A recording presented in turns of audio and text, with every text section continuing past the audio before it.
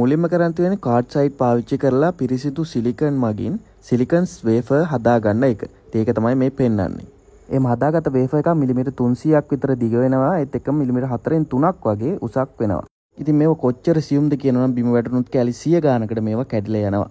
මේම හදාගත්ත තනි වේෆර් එකක් ඩොලර් 100ක් වගේ වෙනවා. නමුත් මේ CPU වලින් පිරී ගියාට පස්සේ මේවා ඩොලර් ලක්ෂයක් පමණ වෙනවා. ඒ කියන්නේ රත්තරන් වගේ 10 ගුණයක් වටිනාකමක් මේවට හිමි වෙනවා. ඊට පස්සේ යමු අපි ඊළඟ පියවරට. මෙහෙම හදපු වේෆර් ටික වෙනම ගොඩනැගිල්ලට ඇවලා ඉතාමත් දැඩි පරීක්ෂණයකට භාජනය කරනවා. භාජනය කරලා බලනවා මේ වගේ වැඩ කරන්න ඇති කොටස් තියෙනවද වැඩ කරන කොටස් කොච්චර තියෙනවද කියලා ඉතාමත් දැඩි ලෙස පරීක්ෂා කරලා බලනවා.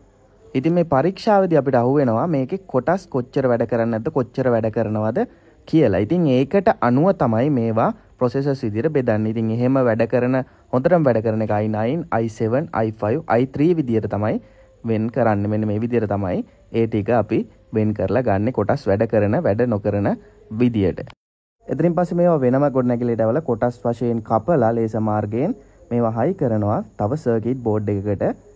ඉතින් ඒක හයි කරාට පස්සේ උඩින් හීට් ප්‍රොටෙක්ටිව් එකක් කව එකක් දාලා මේක වෙළඳ පොලට නිකුත් කරනවා. ඉතින් ඔන්න ඔහොම තමයි CPU හැදෙන්නේ.